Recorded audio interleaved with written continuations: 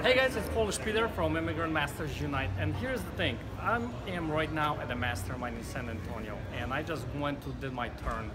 And one of the things that showed up for me is that a lot of people, including myself, sometimes will not do certain things because they avoid looking bad, or somebody's to say something horrible, make a comment on the internet about how you know you don't know what you're doing or whatever, something negative, right? And what I saw for myself is haters will be haters. And for me, I know it is that I want to be loved, I want to be appreciated by people. But when I don't go out there and put myself out there and actually go and you know create something and just go with it, and somebody will hate something, they will say something, fine. And the only way that I can deal with this is to go out there and get out of my own head about it, right?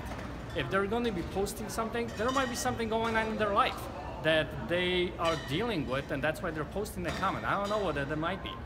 But the whole point is, is go out there and do it. If you're an immigrant, if you just came into this country, or you have an accent, or whatever it might be, go out there, put yourself out there. Who gives a crap what other people think?